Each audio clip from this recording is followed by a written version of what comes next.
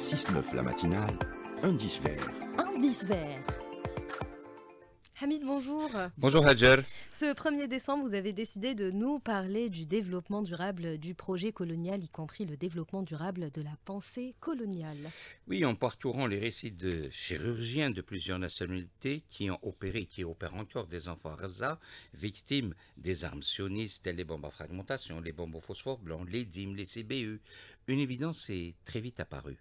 Les médecins en général, mais les chirurgiens en particulier, ont un rapport assez particulier avec la vie et à la vie. Les chirurgiens font tout pour préserver la vie et passer des heures à lutter contre les outils de la mort pour préserver l'intégrité du corps humain.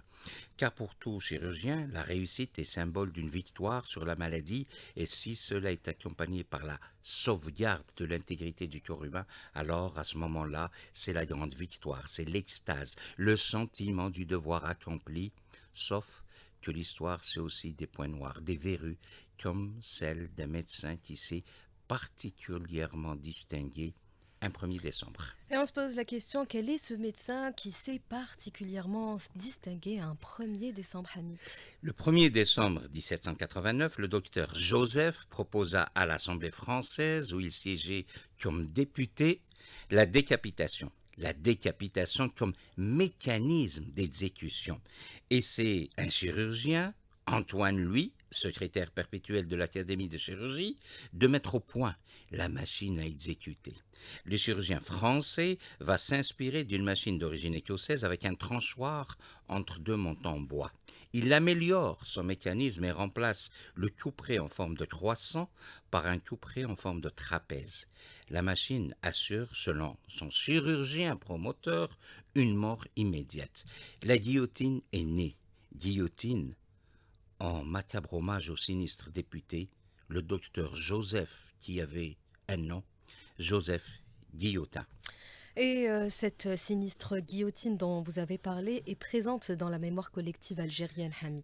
Et bien présente, car la guillotine est le meilleur symbole des bienfaits de la présence française en Algérie. Et c'est ainsi que le 18 juin 1956, François Mitterrand condamne 150 Algériens à la guillotine et charge son directeur de cabinet, Pierre Nicolai, de lui trouver les premiers condamnés à exécuter. Le lendemain, Ahmed Zabana et Abdelkader Faraj seront les premiers des 40 guillotinés dans la tour de la prison de Barbaros. À Constantine et dans la tour de la prison militaire, pas moins de 57 moudjahidines ont été guillotinés.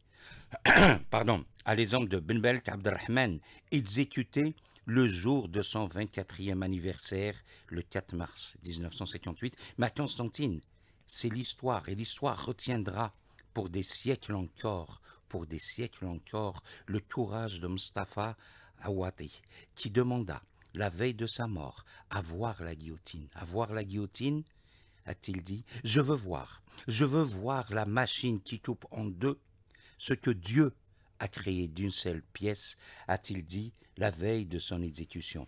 Aujourd'hui, si vous allez dans l'antique Sirta pour assister à un match de foot dans le stade Ben Malik Abdelrahman, vous risquez fort de passer sous les arbres bordant l'avenue Mustafa Awati, qui porte le nom du Shahid et qui est situé dans le prolongement de la route nationale numéro 5, Constantine-Alger. Alger qui continue et qui continuera à défendre la mémoire de ses shuhada. Alger qui demande la restitution des lunettes de Talb Abdelrahman, brillant chimiste et l'un des artisans de la bataille d'Alger, guillotiné à 28 ans le 24 avril 1958.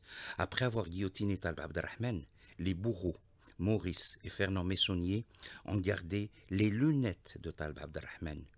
Une précision, et elle est de taille, pour comprendre ce que ne peuvent pas, ni comprendre et encore moins écrire sans ça les Daoud.